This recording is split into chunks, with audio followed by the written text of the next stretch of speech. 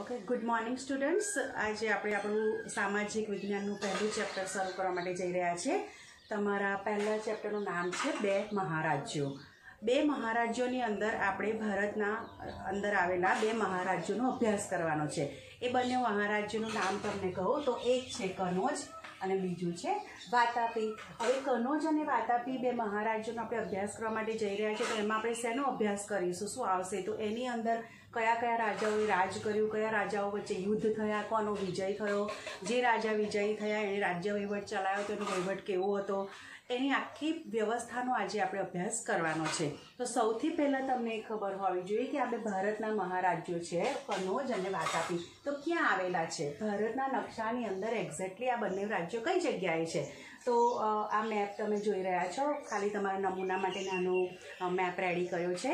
એની અંદર તમે જુઓ અહીંયા આગળ નીચે તમને ખબર છે આ કેરાલા છે અને આ છે કર્ણાટક. રાઈટ કર્ણાટકની અંદર બાગલકોટ તાલુકાની અંદર આપણું વાતાપી આ જે મેં અહીંયા પોઈન્ટ કર્યું છે, ત્યાં આવેલું છે. ક્યાં આવેલું છે? વાતાપી મહારાજ્ય?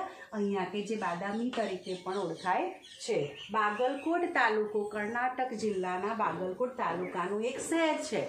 જેનું નામ છે વાતાપી, જે બાદામી તરીકે પણ ઓળખાય છે, જે કર્ણાટકની અંદર આવેલું છે. કનોજની વાત કરીએ આપણે તો કનોજ ઉત્તર પ્રદેશની અંદર ભારતનો જે ઉત્તર ભાગ છે, ત્યાં જે આપણું ઉત્તર પ્રદેશ આવેલું છે, નેપાળની નજીક, એ ઉત્તર પ્રદેશની અંદર અહીં આગળ કનોજ આવેલું છે. શું આવેલું છે? કનોજ તો આ બંને મહારાજ્યો, એક ઉત્તર પ્રદેશનું છે કનોજ બીજું દક્ષિણ ભારતની અંદર કર્ણાટક રાજ્યનું પાતાપી શહેર. અહીંયા કર્ણાટકની અંદર બાગલકોટ તાલુકામાં આવેલું છે. હવે આપણે આગળ એનો અભ્યાસ કરીશું. સૌ પ્રથમ કનોજ. કનોજ મહારાજ્યની વાત કરીશું.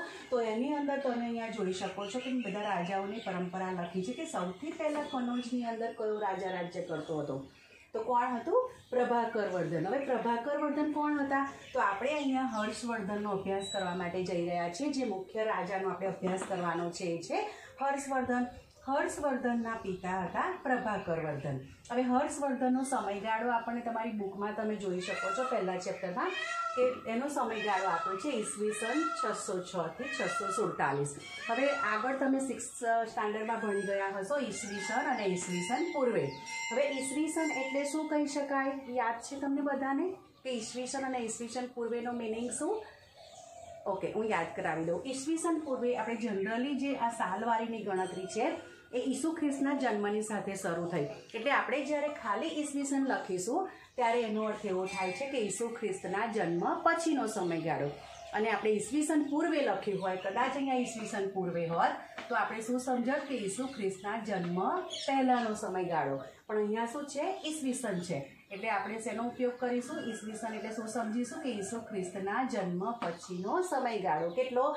છસો છ થી છસો સુડતાલીસ આ સમયગાળા દરમિયાન રાજા હર્ષવર્ધનનું રાજ્ય હતું. ત્યાં આગળ? કનોજ, કે જ્યાં જેની આપણે વાત કરી રહ્યા છીએ તે.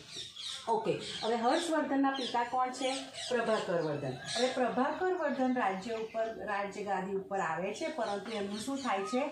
અવસાન થાય છે. એટલે એમનો પુત્ર કોણ? રાજ્યવર્ધન.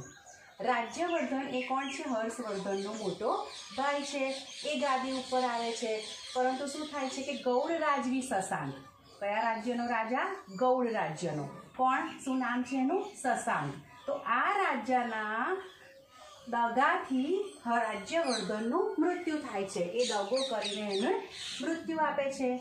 એટલે આ મૃત્યુ પામે છે. એટલે શું થાય છે કે આ જે એનું રાજ્ય હતું, જે થાણેશ્વર થાણેશ્વરની રાજ્ય ગાદી ઉપર જે રાજ્યવર્ધન બેઠા હતા, એનું મૃત્યુ થાય છે. કેવી રીતે થાય છે? તો કે શશાંક દગો કરીને એને મારી નાખે છે. હવે જે થાણેશ્વરની ગાદી હતી ત્યાંની થાણેશ્વરની એ ગાદી શું થઈ? રાજાવર્ધનની થઈ. એટલે બધાએ શું કર્યું? જે મોટા મોટા આગેવાનો, મંત્રીઓ, સેનાપતિઓ, એ બધાએ હર્ષવર્ધનને સમજાવ્યા કે હવે આ ગાદી ઉપર કોણ બેસશે? હર્ષવર્ધન. એટલે પછી હર્ષવર્ધન થાનેશ્વરની ગાદી ઉપર બેસે છે. હવે અહીંયા શશાંક શું કરે છે? શશાંકના કારણે આનું મૃત્યુ થાય છે. હવે આ બાજુ એમની બેન. હર્ષવર્ધનની બેન કોણ છે? રાજેશ્રી એ માળવાનો રાજા દેવગુપ્ત છે એને કેદ કરે છે. હવે શું થયું કે અહીંયા જ્યારે હર્ષવર્ધન ગાદી ઉપર આવે છે, ત્યારે પહેલું શું વિચારે છે કે સૌથી પહેલાં હું મારી બહેનને શું કરીશ? દેવગુપ્તની કેદમાંથી મુક્ત કરીશ. એટલે એ થોડે વનવાસી સ્ત્રીઓ અને જે એક દિવાકર નામનો વ્યક્તિ હોય છે, બૌદ્ધ સાધુ હોય છે, એની મદદથી એ પોતાની બહેનને મુક્ત કરવા માટે જાય છે, કેદમાંથી મુક્ત કરવા માટે. ત્યારે એની બહેન શું કરતી હતી તો કે વિંધ્યાચલના જે જંગલો છે, વિંધ્યના જંગલોની અંદર સતી થતી હતી. તો આ સમયે હર્ષવર્ધન શું કરે છે? સતી થતી પોતાની બહેનને બચાવી લે છે અને પછી શું કરે છે? તો એ શશાંક સાથે યુદ્ધ કરે છે. એમાં શશાંકની હાર થાય છે અને તે થાનેશ્વર અને કનોજની ગાદી ઉપર વિરાજમાન થાય છે. પછી ધીમે ધીમે શું કરે છે? તો કે માળવા ઉપર વિજય મેળવે છે, સૌરાષ્ટ્ર ઉપર વિજય મેળવે છે અને પછી આ બધાની ઉપર વિજય મેળવીને એ શું બને છે? રાજા બને છે. પછી શું થાય છે? તો કે પોતે બહુ બધા વિજય મેળવ્યા. થાનેશ્વરની ગાદી, કનોજની માળવા, સૌરાષ્ટ્ર, બધાનો વિજય મેળવ્યો. પરંતુ પછી શું થાય છે કે આગળ વધે છે, પરંતુ આમાં વિજય મેળવવા જાય છે. ત્યારે આની સાથે એનું યુદ્ધ થાય છે. કોનું? પુલકેશી બીજાનું. પુલકેશી બીજા સાથે હર્ષવર્ધનનું યુદ્ધ થાય છે. એટલે આ વિસ્તારે વધારવા તો જઈ રહ્યો છે. આ બંને ગાદી મેળવી લીધી. માળવાને સૌરાષ્ટ્ર પર પણ વિજય મેળવવાની તૈયારી છે. પરંતુ આ સમય દરમિયાન એનું યુદ્ધ થાય છે પુલકેશી બીજા સાથે. અને પુલકેશી બીજો એને શું કરે છે? હરાવે છે. એણે શશાંકને હરાવ્યો. એણે દેવગુપ્ત દ્વારા પોતાની બહેનને કેદમાંથી મુક્તિ અપાવી. એટલે બહુ પ્રભાવશાળી અને પ્રભાવી શક્તિશાળી રાજા હતો. પરંતુ પુલકેશી બીજા સાથે શું થાય છે? એને યુદ્ધ થાય છે, પરંતુ એમાં એને સફળતા મળતી નથી. એટલે એની વિજય યાત્રા અહીંયા થંભી જાય છે. આપણી બુકમાં એવો એક શબ્દ લખ્યો છે કે વિજય યાત્રા એની થંભી ગઈ. એનો મતલબ શું થયો? કે એ ધીમે ધીમે ધીમે વિજય મેળવતો ગયો. પરંતુ આની સાથે એની હાર થઈ. એટલે શું થયું? એની વિજય યાત્રા અહીંયા સ્ટોપ થઈ ગઈ અને રાજા કોણ બને પછી? પુલકેશી. બીજો બને છે કારણ કે આની હર્ષવર્ધનની હાર થઈ છે. તો અહીંયા સુધી આપણે હર્ષવર્ધનનો અભ્યાસ બેકગ્રાઉન્ડ જે જોઈ લીધું. હવે આગળ આપણે શીખીશું હર્ષવર્ધન એનું રાજ્ય વહીવટ કઈ રીતે ચલાવતો આ જે આ જે એણે વિજય મેળવ્યા છે, થાનેશ્વર, કનોજ, માળવા, સૌરાષ્ટ્ર, તો એ બધા ઉપર એનો જે રાજ્ય વહીવટ હતો, એ કેવી રીતે ચલાવતો હતો? હવે આપણે એનો અભ્યાસ કરીશું.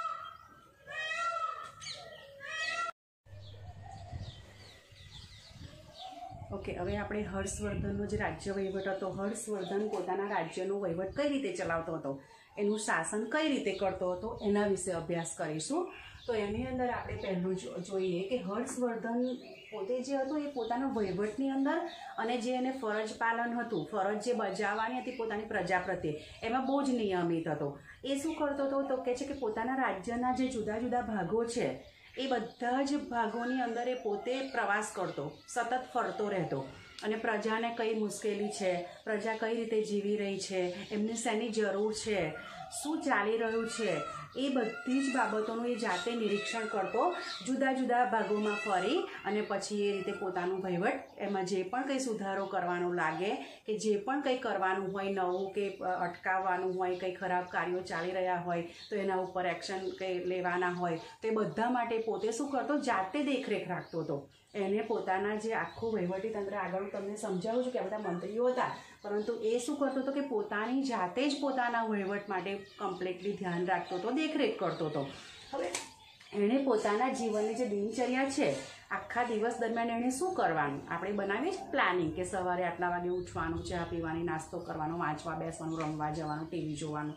એ રીતે એની પોતાની જે આખા દિવસ દરમિયાનની જે દિનચર્યા હતી, એને ત્રણ ભાગમાં વહેંચી હતી. કેટલા ભાગમાં? ત્રણ ભાગમાં. એમાં પહેલામાં એ શું કરતો હતો? પહેલો ભાગ એને શેના માટે કાઢેલો? વહીવટ માટે. અને બીજા જે ભાગ છે એ પ્રજા કલ્યાણ અને ધાર્મિક કાર્યો માટે. એ શું કરતો હતો કે દિવસના એક ભાગની અંદર એ શું કરે કે રાજ્યનો કમ્પ્લીટલી વહીવટ પૂરો કરી દે. જે પણ રાજ્યના કાર્યો કરવાના હોય કે રાજાને લગતા જે પણ કંઈ ફરજો બજાવવાની હોય, એ બધું એક ભાગમાં વહેંચેલું હતું. જ્યારે બીજા બે ભાગ છે એની અંદર એ પ્રજાનું કલ્યાણ કરતો અને ધાર્મિક કાર્યો જે પણ કંઈ કરવાના હોય એ કરતો એટલે આ રીતે એની દિનચર્યા એને ત્રણ વિભાગમાં વહેંચી હતી. હવે આપણે જોઈએ કે એના વહીવટી તંત્રના મંત્રીઓ, હવે કોઈ પણ રાજા હોય તો એને સ્ટેપ બાય સ્ટેપ અમુક મંત્રીની જરૂર પડે પોતાની જાતે પૂરો પૂરો વહીવટ ચલાવી શકે નહીં. આપણે કેવું સ્કૂલની અંદર હોય છે, પ્રિન્સિપાલ હોય, ટીચર્સ હોય, ક્લાર્ક હોય, લાઇબ્રેરિયન હોય. એ રીતે એની અંદર પણ અત્યારે આપણા દેશમાં પણ આપણે જોઈ રહીએ કે શિક્ષણ મંત્રી હા, આરોગ્ય મંત્રી બધા જુદા જુદા હોય છે ને, વિદેશ મંત્રી. તો એવી રીતે મંત્રીઓનું પણ એની અંદર એક આખું ગ્રુપ હતું. હવે એની અંદર આપણે વાત કરીએ તો કોણ હતું? એક સેનાપતિ. કે રાજા જ્યારે યુદ્ધ કરવા માટે જાય, બીજા રાજા ઉપર ચઢાઈ કરે કે રાજ્ય પર ચઢાઈ કરે, ત્યારે આખું સૈન્ય લઈને જતા. એટલે સૈન્યની અંદર એક વ્યક્તિને શું કરતા? સેનાપતિ તરીકે નિયુક્ત કરતા. કે જે સેનાપતિ આખી સેનાનું સંચાલન કરે. એટલે એના વહીવટી તંત્રમાં એક મંત્રી હતો, સેનાપતિ બીજો છે પ્રતિહાર. પ્રતિહાર એટલે જેને આપણે દ્વારપાળ કહીએ. આપણે જૂની તમે જે રામાયણ, મહાભારતની સિરિયલ ને બધું જોયું છે ને, એની અંદર તમે જોઈ શકો છો કે દ્વારની આગળ જે ઊભો રહે એ કોણ કહેવાય? દ્વારપાળ, કે અંદર કોઈ આવે, જાય, તો એનું ધ્યાન રાખે, રાજાને સમાચાર પહોંચાડે કે આ વ્યક્તિ તમને મળવા આવી છે, એવું એક પદ હતું. પછી સંધિ વિગ્રહ, એટલે વિદેશ મંત્રી. આપણે અત્યારે જે વિદેશોની અંદર કેવું ચર્ચા કરવાની હોય તો એનો એક સ્પેશિયલ મંત્રી આપણે આપણા એમાં છે. કે વિદેશમાં જાય અને બધી વાતચીતો કરે કે જે કરવાનું હોય એ કરે. એ રીતે એના અંદર પણ એક સંધિ વિગ્રહક હતો કે જેને આપણે અત્યારના શબ્દોમાં વિદેશ મંત્રી કંઈ કોઈ બીજા રાજા સાથે એમને કંઈ મેસેજ મોકલાવાનો હોય કે પછી વિગ્રહ કંઈ લડાઈ ઝઘડા થતા હોય, એનું સમાધાન કરવાનું હોય, આ તે, એ સંધિ વિગ્રહ એટલે વિદેશ મંત્રી કે જે બહારની પ્રવૃત્તિઓ ઉપર દેખરેખ રાખે. પછી હતો અક્ષપટલિક એટલે નોંધણી કરનાર. હવે રાજા એમની પ્રજા પાસેથી જે પણ કંઈ કર ઉઘરાવે કે એની જમીન કેટલી છે, કેટલો કર આવ્યો, એ બધા માટેની જે નોંધણી કરે એને કહેવાય અક્ષપટલિક પછી છે રાજદૂત. બીજા રાજાને કોઈ મેસેજ સંદેશો મોકલાવાનો હોય તો કોના દ્વારા મોકલાવે? રાજદૂત દ્વારા એને દૂત કહેવાય. દૂત એટલે સંદેશો પહોંચાડનાર અને રાજદૂત એટલે રાજાનો સંદેશો પહોંચાડનારો રાજદૂત. પરરાજ્ય મંત્રી, બીજા રાજ્યના મંત્રીઓ કે બીજા રાજ્યના જે પર રાજ્ય, પારકું રાજ્ય છે એના જે મંત્રી હોય, એનું એક પદ હતું અને એક પદ હતું મહાદંડ નાયક. એટલે કે મહાન્યાયાધીશ અત્યારે તમે જોયું હશે કે ટીવી સિરિયલની અંદર તમે જુઓ છો કે મોટા એક જજ હોય છે ને ન્યાયાધીશ એવી રીતે આની અંદર પણ એક મહાદંડ નાયક હતા કે જે શું કરે? ન્યાય આપવાનું કાર્ય કરતા હતા. આ રીતે એના વહીવટી તંત્રમાં આ બધા જ મંત્રીઓ હતા. હવે એના કાર્યો જોઈએ કે હર્ષવર્ધને પોતાના શાસનકાળ દરમિયાન શું કાર્યો કર્યા? શું કર્યું એણે? તો એણે કેટલા વિશ્રાંતિ ગૃહો બનાવ્યા, વાવ બનાવી, તળાવો બનાવ્યા, વિહારો બનાવ્યા. આ રીતે એણે આ બધું બનાવ્યું. પ્રજાને પાણીની પ્રોબ્લેમ સમસ્યા ના નડે. વિશ્રાંતિ ગૃહ કે કોઈને આરામ કરવું હોય, કોઈ નવા બહારથી આવ્યા હોય તો રહી શકે. વિહારો, બૌદ્ધ ધર્મના જે મઠો બનાવ્યા. એ રીતે એણે આ બધા કાર્યો કર્યા. પછી શું કર્યું? જીવ હિંસા ઉપર પ્રતિબંધ મૂક્યો કે તે વખતે જીવોની હિંસા વધારે થતી હતી. તો એણે એની ઉપર શું કર્યું? પ્રતિબંધ કે હવે કોઈ વ્યક્તિ, કોઈ પ્રાણી કે કોઈ એને મારી શકશે નહીં. પછી એ શું કરતો દર વર્ષે બૌદ્ધ ધર્મની ચર્ચા સભા બોલાવતો કે તે વખતે બૌદ્ધ ધર્મ વધારે પ્રચલિત હતો. તો એ બૌદ્ધ ધર્મ અંગેની જે ચર્ચા કરવાની હોય, એના માટે જુદા જુદા બૌદ્ધ જે સાધુ સંતો હોય એમને બોલાવીને ચર્ચા સભા યોજતો. અને દર પાંચ વર્ષે એક ધર્મ પરિષદનું આયોજન કરતો. દર વર્ષે શું કરતો? તો ખાલી ચર્ચા સભા. અને પાંચ વર્ષે ધર્મ પરિષદ. એના સંસ્કૃત સાહિત્યના જે પ્રખ્યાત સાહિત્યકાર છે, જેનું નામ તમે સંસ્કૃતમાં સાંભળ્યું હશે, બાણ ભટ્ટ, કે જેણે હર્ષચરિત અને કાદંબરી જેવી કૃતિઓની રચના કરી. એવા બાણ ભટ્ટ કોના દરબારમાં હતા? હર્ષવર્ધનના. કાદંબરી અને હર્ષચરિત. જેની અંદર એમણે હર્ષચરિતમાં શું કર્યું છે? તો કે રાજા હર્ષવર્ધનનો બધી જ માહિતીનો ઉલ્લેખ કર્યો છે આની અંદર. આખું હર્ષ રાજાએ કઈ રીતે રાજ્ય કર્યું, રાજા કેવો હતો, એ બધી જ બાબતોની ચર્ચા એમણે બાણ ભટ્ટે શેમાં કરી છે? હર્ષચરિતમાં હવે આ જે હર્ષવર્ધન હતો, એ પોતે પણ સાહિત્યકાર હતો. એણે પણ ત્રણ કૃતિઓની રચના કરી. કઈ કઈ? નાગાનંદ, રત્નાવલી અને પ્રિયદર્શિકા. આ ત્રણ કૃતિઓની રચના કોણે કરી છે? હર્ષવર્ધને. અને હર્ષચરિત અને કાદંબરી કોની કૃતિઓ છે? બાણભટ્ટની. તો આ રીતે આખો એનો રાજ્ય વહીવટ ચાલતો હતો.